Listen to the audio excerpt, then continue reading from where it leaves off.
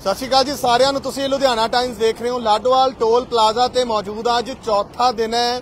ਭਾਰਤੀ ਕਿਸਾਨ ਯੂਨੀਅਨ ਦੀ ਕਾਲ ਦੇ ਉੱਪਰ ਕਿਸਾਨ ਜਥੇਬੰਦੀਆਂ ਦੇ ਆਗੂਆਂ ਨੇ ਲਾਡੋਵਾਲ ਟੋਲ ਪਲਾਜ਼ਾ ਨੂੰ ਬਿਲਕੁਲ ਮੁਫਤ ਕਰਵਾਇਆ ਸੀ ਬਿਨਾਂ ਕਿਸੇ ਚਾਰਜ ਤੋਂ तमाम ਜਿਹੜੇ ਵਾਹੀਕਲਸ ਨੇ ਇੱਥੋਂ ਕੱਢੇ ਜਾ ਰਹੇ ਨੇ ਚਾਹੇ ਹੈਵੀ ਵਾਹੀਕਲਸ ਹੋਣ ਕਮਰਸ਼ੀਅਲ ਵਾਹੀਕਲਸ ਹੋਣ ਪ੍ਰਾਈਵੇਟ ਗੱਡੀਆਂ ਹੋਣ ਕਿਉਂਕਿ ਉਹਨਾਂ ਵੱਲੋਂ ਵਿਰੋਧ ਕੀਤਾ ਜਾ ਰਿਹਾ ਸੀ ਕਿ ਲਗਾਤਾਰ ਜਿਹੜੇ ਰੇਟ ਵਧ ਰਹੇ ਨੇ ਇਸ ਟੋਲ ਪਲਾਜ਼ਾ ਦੇ ਪੰਜਾਬ ਦਾ ਸਭ ਤੋਂ ਮਹਿੰਗਾ ਟੋਲ ਪਲਾਜ਼ਾ ਤਸਵੀਰਾਂ ਦੇ ਵਿੱਚ ਵੇਖ ਸਕਦੇ ਹੋ ਇੱਧਰ ਪੱਕਾ ਮੋਰਚਾ ਲੱਗਿਆ ਹੋਇਆ ਹੈ ਔਰ ਆਪਣੀਆਂ ਮੰਗਾਂ ਨੂੰ ਲੈ ਕੇ ਭਾਰਤੀ ਕਿਸਾਨ ਯੂਨੀਅਨ ਦੇ ਆਗੂ ਜਿਹੜੇ ਨੇ ਇੱਥੇ ਮੌਜੂਦ ਨੇ ਔਰ ਸਰਕਾਰ ਨੂੰ ਪਹਿਲਾਂ ਅਲਟੀਮੇਟਮ ਦਿੱਤਾ ਗਿਆ ਔਰ ਐਤਵਾਰ ਤੋਂ ਇਹ ਟੋਲ ਜਿਹੜਾ ਫ੍ਰੀ ਕੀਤਾ ਗਿਆ ਸੀ ਦਿਲਚਸਪ ਗੱਲ ਇਹ ਹੈ ਕਿ ਬਿਨਾਂ ਕਿਸੇ ਟ੍ਰੈਫਿਕ ਤੋਂ ਬੜੀ ਆਸਾਨੀ ਦੇ ਨਾਲ तमाम ਜਿਹੜੇ ਵਾਹੀਕਲਸ ਨੇ ਇੱਥੋਂ ਨਿਕਲ ਰਹੇ ਨੇ ਔਰ ਲੋਕ ਬਹੁਤ ਖੁਸ਼ ਨੇ ਕਿਉਂਕਿ ਇਸ ਟੋਲ ਪਲਾਜ਼ੇ ਦਾ ਸਿੱਧਾ ਅਸਰ ਉਹਨਾਂ ਦੀ ਜੇਬ ਤੇ ਪੈਂਦਾ ਸੀ। ਕਿਸਾਨ ਆਗੂ ਸਾਡੇ ਨਾਲ ਮੌਜੂਦ ਨੇ ਉਹਨਾਂ ਨਾਲ ਗੱਲਬਾਤ ਕਰਾਂਗੇ। ਬਾਈ ਜੀ ਸਤਿ ਸ਼੍ਰੀ ਅਕਾਲ। ਸਤਿ ਸ਼੍ਰੀ ਅਕਾਲ ਬਾਈ ਜੀ। ਬਾਈ ਜੀ ਅੱਜ ਚੌਥਾ ਦਿਨ ਹੈ ਜੀ ਇਹ ਟੋਲ ਪਲਾਜ਼ੇ ਦੇ ਉੱਪਰ ਕਿਵੇਂ ਵੇਖ ਰਹੇ ਹੋ? ਕਿੱਦਾਂ ਚੱਲ ਰਿਹਾ ਮੋਰਚਾ?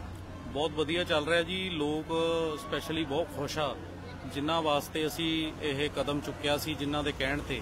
ਲੋਕਾਂ ਦੇ ਵਿਊਜ਼ ਬਹੁਤ ਅੱਛੇ ਆ ਰਹੇ ਆ ਔਰ ਜਿਹੜੀ ਉਹਨਾਂ ਦੀ ਕਿਸਾਨਾਂ ਜਥੇਬੰਦੀਆਂ ਨੂੰ ਲੈ ਕੇ ਧਾਰਨਾ ਸੀਗੀ ਕਿ ਕਿਸਾਨ ਪਰੇਸ਼ਾਨ ਕਰ ਦਿੰਦੇ ਆ ਮੋਰਚਾ ਲਾ ਦਿੰਦੇ ਆ ਉਹ ਅੱਜ ਦੀ ਡੇਟ 'ਚ ਉਹ ਕਿਸਾਨਾਂ ਦੇ ਹੱਕ 'ਚ ਆ ਗਏ ਆ। ਉਹਨਾਂ ਨੂੰ ਪਤਾ ਲੱਗ ਗਿਆ ਵੀ ਜਿਹੜੀਆਂ ਜਥੇਬੰਦੀਆਂ ਨੇ ਇਹ ਲੋਕਾਂ ਦੇ ਹੱਕ ਸੱਚ ਲਈ ਲੜਦੀਆਂ ਨੇ।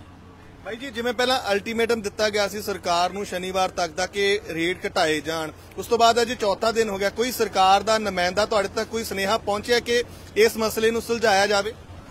ਦੇਖੋ ਜੀ ਸਾਨੂੰ ਲੱਗਦਾ ਤਾਂ ਹੈਗਾ ਵੀ ਸਰਕਾਰ ਇਸ ਗੱਲ ਨੂੰ ਲੈ ਕੇ ਸੀਰੀਅਸ ਆ ਔਰ ਜਲਦ ਤੋਂ ਜਲਦ ਇਹ ਸਾਡਾ ਹੱਲ ਕਰੂਗੀ। ਪਰ ਜੇ ਇਹਨਾਂ ਨੇ ਹੱਲ ਵੱਲ ਨਾ ਕੋਈ ਸੋਚਿਆ ਤਾਂ ਫਿਰ ਅਸੀਂ ਕੋਈ ਵੱਡੀ ਕਾਲ ਦਵਾਂਗੇ ਜਿਹਦੇ ਵਿੱਚ ਅਸੀਂ ਵੱਡਾ ਭਰਮਾ ਇਕੱਠ ਕਰਾਂਗੇ। ਕਿ ਮੰਗਾਂ ਕੀ ਨੇ? ਜਿੱਦਾਂ ਰੇਟ ਕਿੰਨਾ ਕੁ ਕਰਨਾ ਚਾਹੀਦਾ ਇਸ ਟੋਲ ਪਲਾਜ਼ਾ ਅਸੀਂ ਤਾਂ ਜੀ ਜੋ ਕਹਿੰਦੇ ਸੀ ਜੋ ਪੁਰਾਣੀ ਪਰਚੀ ਚੱਲਦੀ ਸੀਗੀ 150 ਰੁਪਏ ਵਾਲੀ ਅਸੀਂ ਤਾਂ ਉਹ ਕਹਿੰਦੇ ਸੀ ਵੀ ਉਹਨੂੰ ਲਾਗੂ ਕਰ ਦਿੱਤਾ ਜਾਵੇ ਔਰ ਜਿਹੜੇ ਰੇਟ ਇਹ ਵਧਾ ਰਹੇ ਨੇ ਉਹਨੂੰ ਘਟਾ ਦੇਣ। ਔਰ ਬਾਕੀ ਜਿਹੜੀਆਂ ਨਾਰਮਲ ਸੁਵਿਧਾਵਾਂ ਸੀਗੀਆਂ ਜਿਹੜੀਆਂ ਇੱਥੇ ਦੇਖਣ ਨੂੰ ਨਹੀਂ ਮਿਲਦੀਆਂ ਤਾਂ ਉਹ ਅਸੀਂ ਕਿਹਾ ਸੀ ਵੀ ਉਹਨਾਂ ਨੂੰ ਤੁਸੀਂ ਪੂਰੀ ਕਰ ਦਿਓ।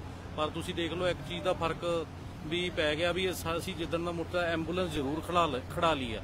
ਅਸੀਂ ਐਂਬੂਲੈਂਸ ਕਿਹਾ ਸੀ ਇੱਕ ਐਂਬੂਲੈਂਸ ਜ਼ਰੂਰ ਚਾਹੀਦੀ ਆ ਔਰ ਪਾਣੀ ਦੀ ਸੁਵਿਧਾ ਚਾਹੀਦੀ ਆ ਸਟਰੀਟ ਲਾਈਟਾਂ ਚਾਹੀਦੀਆਂ ਨੇ। ਸੋ ਇਹ ਛੋਟੀਆਂ-ਛੋਟੀਆਂ ਗੱਲਾਂ ਨੇ ਜੋ ਕਿ ਇਹਨਾਂ ਨੂੰ ਜ਼ਰੂਰੀ ਵੀ ਆ ਔਰ ਇਹਨਾਂ ਦਾ ਡਿਊਟੀ ਬਣਦੀ ਆ ਵੀ ਇਹ ਚੀਜ਼ ਸਾਨੂੰ ਦੇਣ। ਪ੍ਰਸ਼ਾਸਨ ਜਿਹੜਾ ਕੋਆਪਰੇਟ ਕਰ ਰਿਹਾ ਕੋਈ ਪਰੇਸ਼ਾਨੀ ਪ੍ਰਸ਼ਾਸਨ ਵੱਲੋਂ ਜਿੱਦਾਂ ਪੁਲਿਸ ਮੁਲਾਜ਼ਮ ਵੀ ਖੜੇ ਨੇ ਇੱਥੇ ਕੋਈ ਦਿੱਕਤ ਤਾਂ ਨਹੀਂ ਆ ਰਹੀ? ਨਹੀਂ ਜੀ ਪੁਲਿਸ ਮਲਾ ਪ੍ਰਸ਼ਾਸਨ ਸਾਰਾ ਨਾਲ ਹੈ ਜੀ। ਔਰ ਉਹ ਵੀ ਖੁਸ਼ ਆ ਕਿਤੇ ਨਾ ਕਿਤੇ ਵੀ ਜਿਹੜੀ ਆਵਾਜ਼ ਜਥੇਬੰਦੀਆਂ ਨੇ ਚੱਕੀ ਆ, ਵੀ ਉਹ ਸਹੀ ਆ। ਔਰ ਉਹ ਵੀ ਕਹਿ ਰਹੇ ਆ ਵੀ ਇਹ ਤਾਂ ਨਜਾਇਜ਼ ਸੀਗਾ।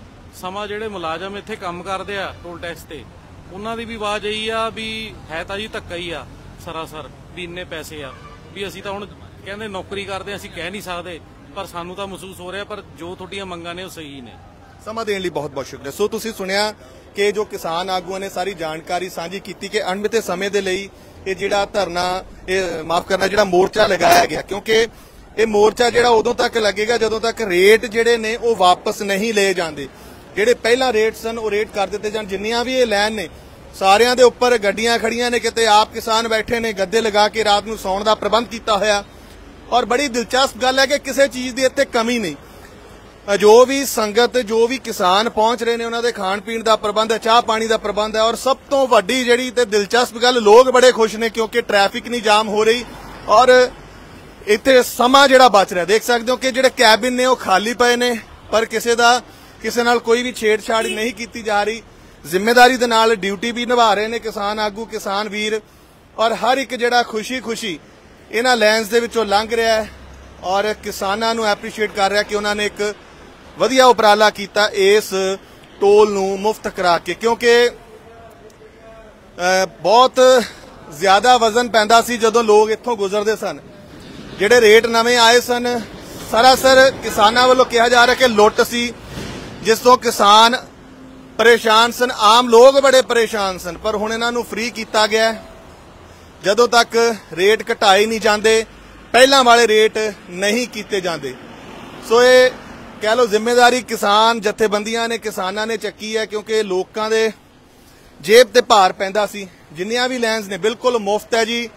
ਚਾਹੇ ਬੱਸੇਸ ਹੋਣ, ਟਰੱਕ ਹੋਣ, ਹੈਵੀ ਵਾਹੀਕਲਸ ਹੋਣ ਕਮਰਸ਼ੀਅਲ ਵਾਹੀਕਲਸ ਹੋਣ, ਬਿਲਕੁਲ ਮੁਫਤ। ਬਿਨਾਂ ਕਿਸੇ ਚਾਰਜ ਤੋਂ ਇਥੋਂ ਜਾ ਰਹੇ ਨੇ ਔਰ ਸਮੇਂ ਦੀ ਬਚਤ ਹੋ ਰਹੀ ਹੈ ਕਿਉਂਕਿ ਪਹਿਲਾਂ ਲੰਮੀਆਂ ਲੰਮੀਆਂ ਕਤਾਰਾਂ ਲੱਗ ਜਾਂਦੀਆਂ ਸਨ। ਇਸ ਟੋਲ ਪਲਾਜ਼ੇ ਤੇ ਜਦੋਂ ਲੋਕ ਪਰਚੀ ਦੇ ਲਈ ਰੁਕਦੇ ਸਨ ਤਾਂ ਲੰਮੀਆਂ ਲੰਮੀਆਂ ਕਤਾਰਾਂ ਲੱਗਦੀਆਂ ਸਨ। ਹੁਣ ਸਮੇਂ ਦੀ ਬਚਤ ਹੋ ਰਹੀ ਹੈ ਔਰ ਇੱਥੇ ਟ੍ਰੈਫਿਕ ਜਿਹੜੀ ਹੈ ਜਾਮ ਨਹੀਂ ਹੋ ਰਹੀ, ਜਿਸ ਤੋਂ ਲੋਕ ਬਹੁਤ ਸੰਤੁਸ਼ਟ ਨੇ।